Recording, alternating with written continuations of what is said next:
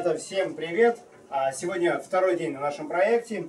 Итак, чем мы сегодня займемся? Ну, сначала краткое предисловие, что мы здесь делаем и как мы тут оказались. Значит, дело в том, что я выложил ролик о том, как а, подручными средствами, своими силами делать идеальную шумоизоляцию. То есть, напомню, что шумоизоляция бывает правильная, та, которая делается согласно определенной технологии, с определенными лицензиями. То есть, у меня как строителя есть лицензия на монтаж определенных технологий. Я ее монтирую, сдаю под подпись, и все как бы ну, счастливы. Но профессиональная шумоизоляция стоит, скажем так, от 150 до 500 евро за квадратный метр. Ну, вроде как глупость сказал, но на самом деле оно так и есть. Если вы в совокупность все дисциплины строительные сложите, то цифра будет вот примерно такой. Это будет профессионально. Это те шумоизоляции, которые мы делали, например, в Стокмане, там где с одной стороны тепловозы, паровозы ходят, а внутри кинотеатр. Вот профессиональной а, шумоизоляции. Мы же, с учетом того, что времена у нас, так сказать, не лучшие, предлагаем вот такие всякие варианты от себятины, разные вентиля... ну, шумоизоляции из простых подручных материалов.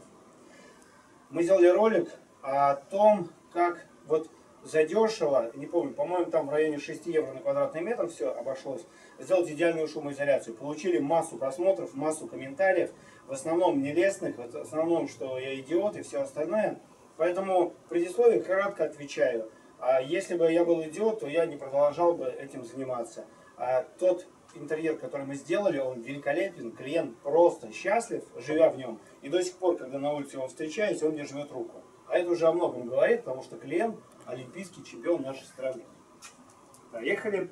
Теперь мы получили вот этот шикарный проект. Почему шикарный проект? Потому что типовые проекты, они скучные, а проект, где на каждый один квадратный метр пять проблем, он веселый. Я поэтому пребываю в хорошем настроении. Поехали, ребят. Значит, мы получаем что? Мы получаем вот такой потолок. Откуда нарисовался этот потолок? Дому больше 100 лет.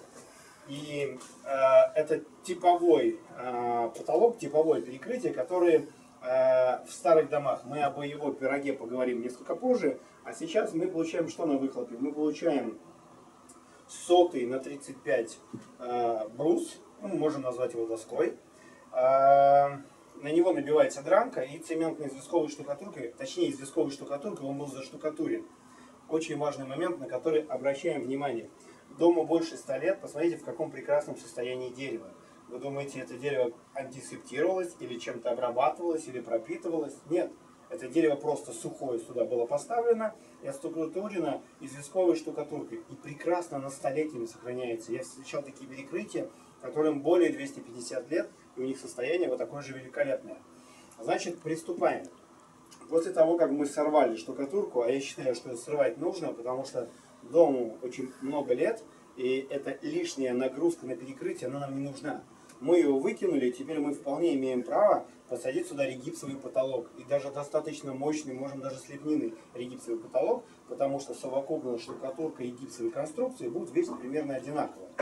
Итак, что мы делаем? Мы пропениваем каждую щель, а щели надо здесь сказать от 5 сантиметров до сантиметра. Для чего мы пропениваем? Правильно, для того, чтобы сделать идеальный костер на случай пожара. Это шутка, но с другой стороны, вот такие вещи делать нельзя. Потому что на самом деле, случись какой-либо пожар, это будет проблема. Значит, когда мы будем делать электрику, мы будем учитывать, что у нас такого рода перекрытие, черный потолок. И ребята, которые сверху, мы предварительно с ними говорили, как пирог работает сверху. Сверху пирог будет работать следующим образом. Прокладывается крепированная бумага на все перекрытие, насыпается 7 сантиметров мелкого керамзита, ну, фракции 0,5-1. И после этого три слоя ваты. Не одним толстым слоем, а три слоя ваты. И уж сверху, между лак, который ставится на новый пол, а строение пола примерно такое, как у нас, ну, несколько дешевле прокидывается э, БЛК 9, по-моему, порог насыпной ваты.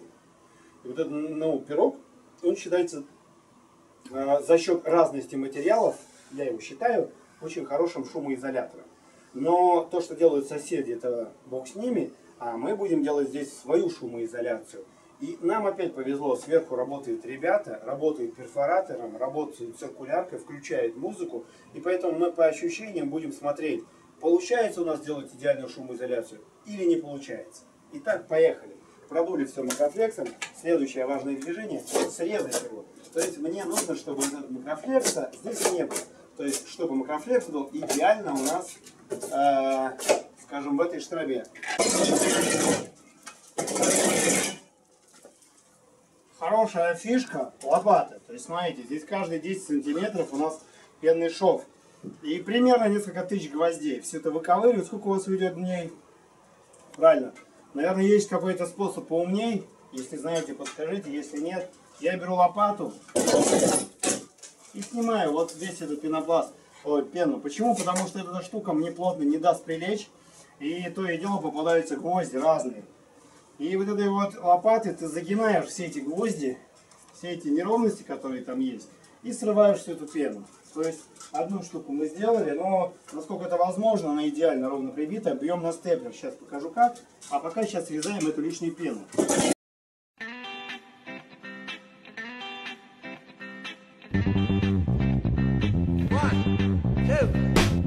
Дальше там есть всякие гвозди, всякая фигня. Я беру молоточек и это говно разбиваю.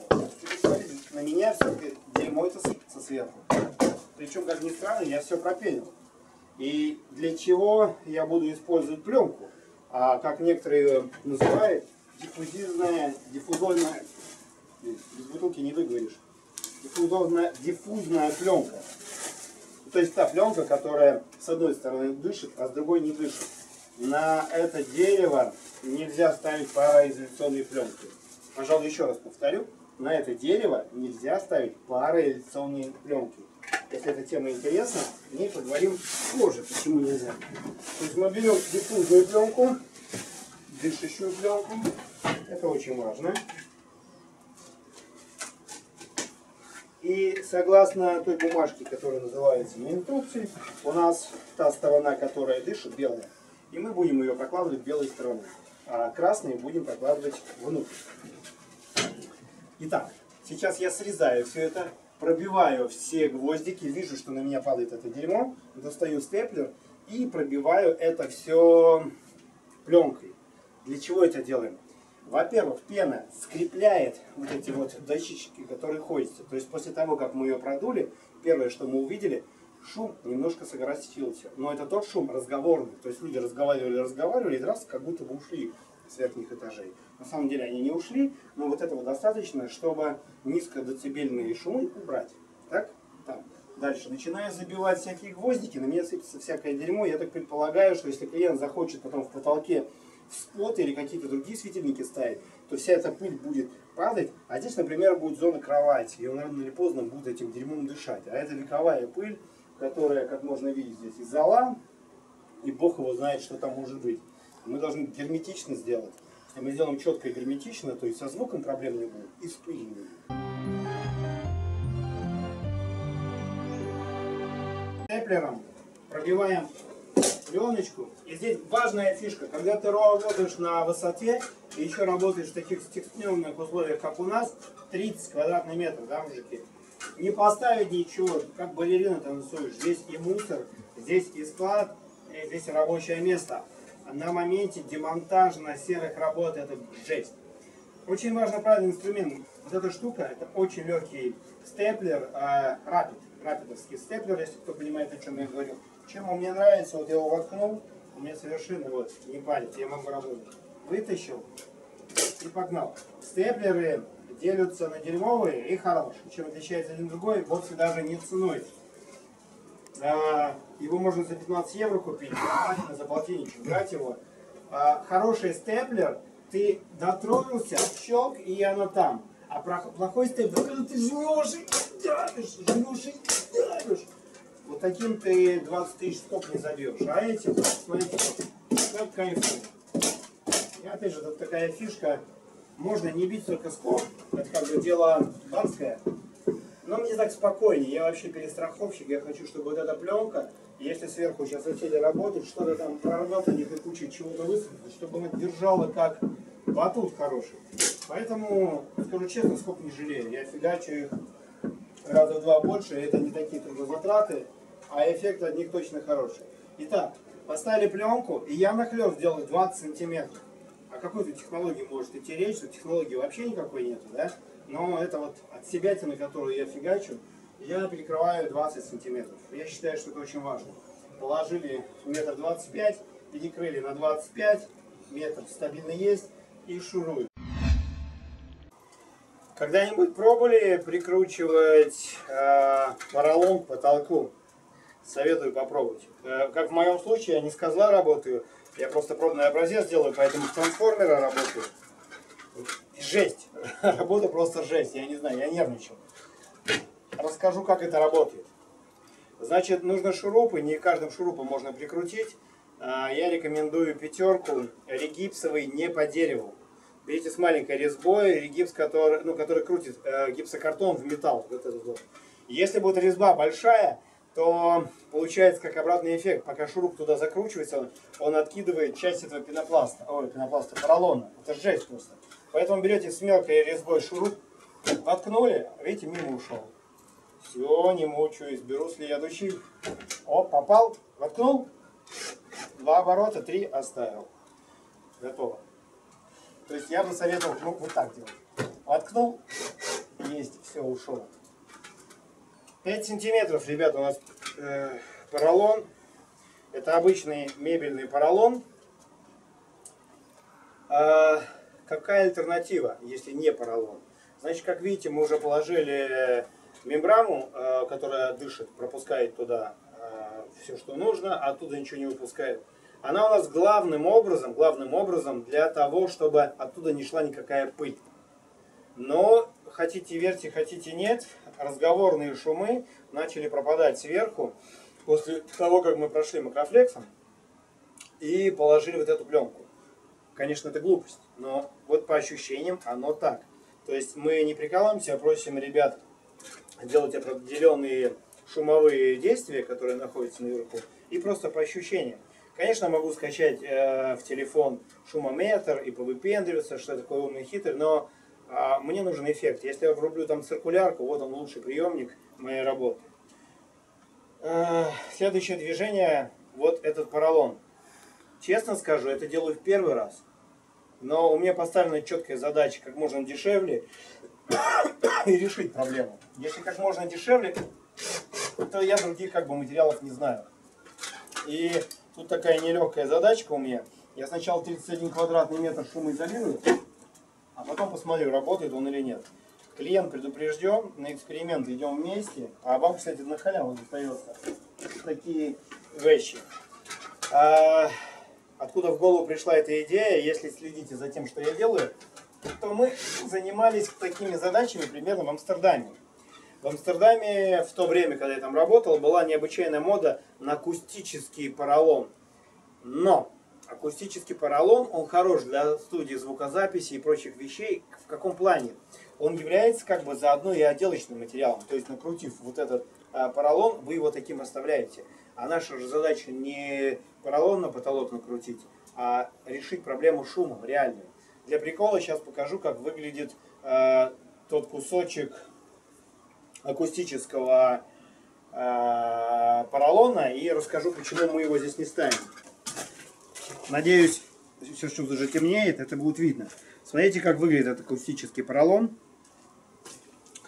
Значит, чем он хорош и чем он не хорош. Когда я его держу, я не вижу у него а, такой плотности, которая есть в мебельном поролоне.